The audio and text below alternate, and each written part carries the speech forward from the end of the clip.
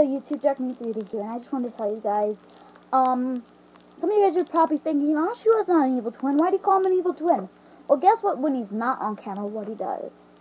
I was recording this with this, um, app, I, with this app so-called, where you can record with your iPod off, and, um, this is what he said to me. Check this out. Yo, Han, no one cares for you. You're ugly and a loser. Blah, blah, blah all I'm hearing. Now shut up and get out of my way. Get out of my... my opinion, that spells cruel with a capital C.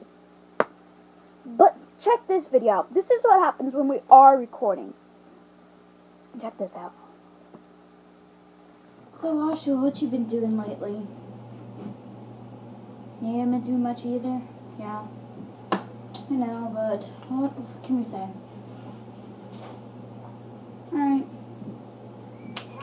There's Joshua on without on camera and on camera. You guys just saw him. That's what he acts like on camera. He's like acts like this nice little guy when he is cruel.